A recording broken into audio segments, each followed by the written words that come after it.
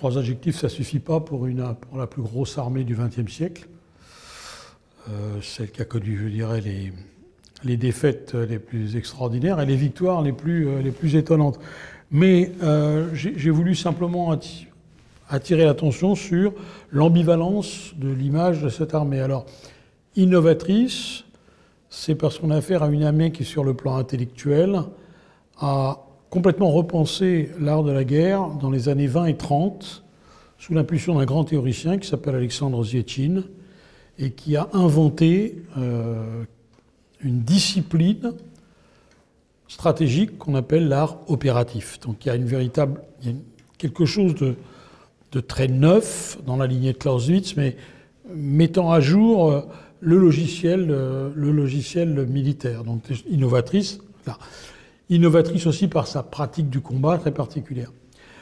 Ensuite, on dit libératrice parce que c'est quand même elle qui a détruit le nazisme, c'est sa contribution qui est majeure, et elle a libéré euh, la moitié de l'Europe.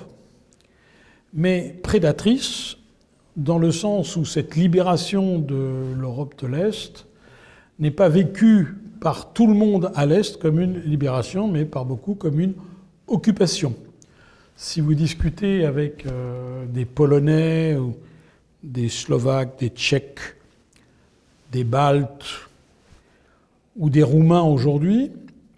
C'est mauvais des Roumains parce qu'ils étaient du côté allemand, mais leur mémoire va tendance à gommer la joie qu'ils ont éprouvée quand l'armée rouge les a libérés du joug nazi.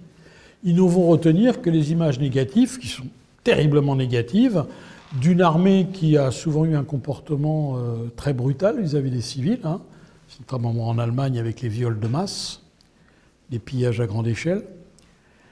Mais voilà, c'est un visage ambivalent. Nous, on n'a pas cette perception des Américains. On a de la chance d'habiter à l'Europe de l'Ouest, donc on n'a pas été libéré par l'armée rouge. Je pense qu'on ne s'en porte pas plus mal, loin de là. L'image des Américains, elle est complètement positive. Même chez les Allemands qui ont été vaincus, cette image, elle est positive. En revanche, dès que vous avez libération par les, Soviétiques, on devra à chaque fois écrire libération slash occupation.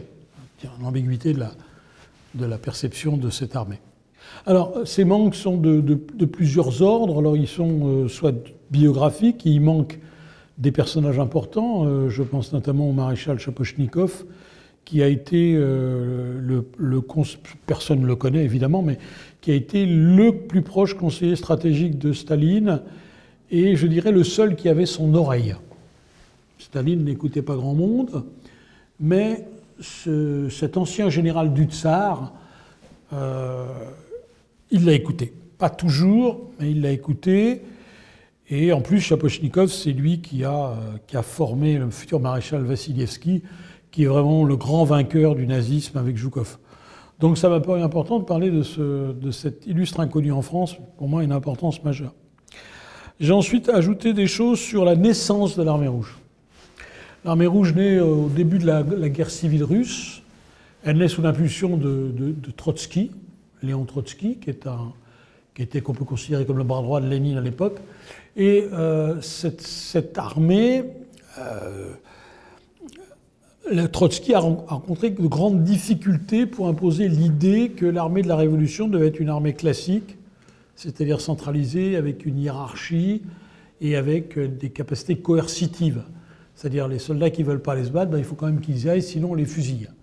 Donc au fond, cette armée rouge, elle est assez classique de ce point de vue-là, pas sur tous les points, mais il y avait un contre-modèle qui était un modèle plus de guérilla, euh, on va dire, euh, sans hiérarchie, avec une discipline librement consentie qu'on appelait les gardes rouges. Et euh, il y a eu un combat entre ces deux, ces deux conceptions de l'armée rouge, et finalement, c'est le, le, modèle classique qui l'a emporté. Donc je pense que ça aussi, ça méritait euh, un article, d'autant plus que ce combat, on va le retrouver ensuite euh, en Chine, en Chine populaire, euh, la République démocratique du Vietnam. C'est vraiment un problème, le choix entre une armée classique, une armée de guérilla, entre une armée de, partisans et une armée très hiérarchisée, c'est vraiment un classique des guerres, des guerres du XXe siècle. J'ajoute aussi peut-être des choses sur le, combat. Je crois que j'ai fait une monographie d'une unité, d'une formation très particulière d'armée rouge qui sont les armées blindées.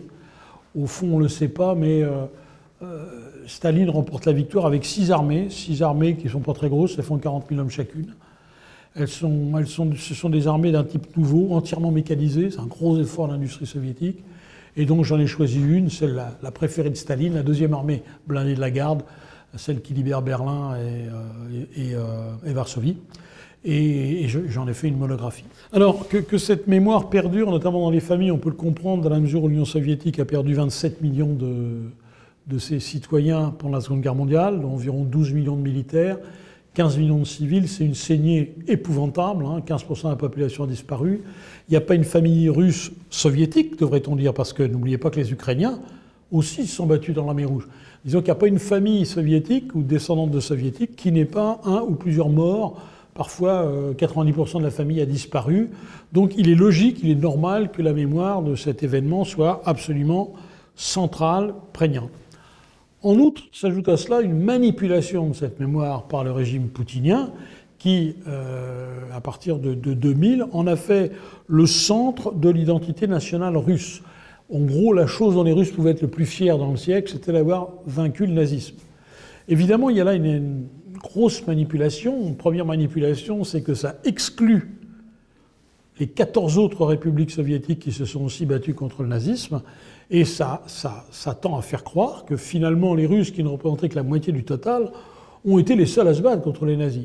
Ce qui permet d'expulser les Ukrainiens et de les renvoyer dans le corps des méchants, c'est-à-dire des, nazis, rappelez-vous.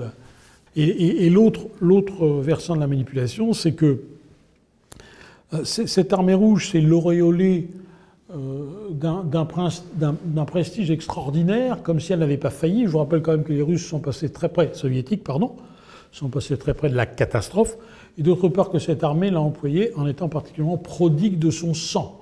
On ne peut pas dire qu'elle a beaucoup euh, pris soin de ses soldats et de ses soldates, parce que ça aussi on l'oublie, mais euh, l'armée rouge est l'armée au monde qui a utilisé le plus de femmes à la guerre, un million.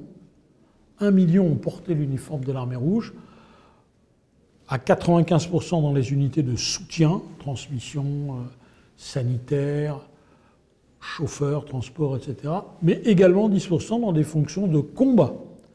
On a des femmes soviétiques qui étaient pilotes de chars, pilotes de bombardiers, pilotes de chasse, euh, snipeuses, tireurs d'élite, et encore une fois, euh, quand on regarde par exemple le tableau des femmes les, meilleurs tireurs d'élite de l'armée rouge, on s'aperçoit que bah, la moitié d'entre elles sont des Ukrainiennes. Donc là, vous voyez, cette, cette, manipulation. Euh, aujourd'hui, c'est une obsession, là, ce que les Russes appellent la Grande Guerre patriotique, c'est complètement obsessionnel. Ils font un film tous les ans, euh, pratiquement tous les soirs, il y a une chaîne russe où on passe un film sur cet événement à la télé. À l'école, il est question de ça. Tout est complètement manipulé. Il y a une doxa. Il est impossible de critiquer et de faire voir un autre point de vue sur cette guerre. Et en même temps, ça participe euh, d'une certaine réhabilitation du personnage de Staline, puisque évidemment les lauriers de la victoire euh, retombent sur lui sans aucun esprit euh, critique. Poutine lui-même parade dans les rues de Moscou avec le, portrait de son grand-père, la petite fleur à la boutonnière, pour véritablement utiliser cet événement historique pour refaire l'unité de la nation russe. C'est particulièrement utile en temps, de, en temps de guerre qui ne dit pas son nom.